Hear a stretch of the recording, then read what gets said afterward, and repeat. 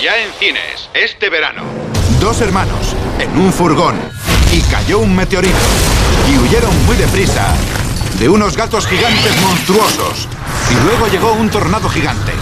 Y es entonces cuando las cosas se ponen al rojo vivo. Aparece una flota mexicana con armas hechas de to- tomates. Y puedes apostar tu último dólar a que estos dos hermanos pueden con cualquier movida.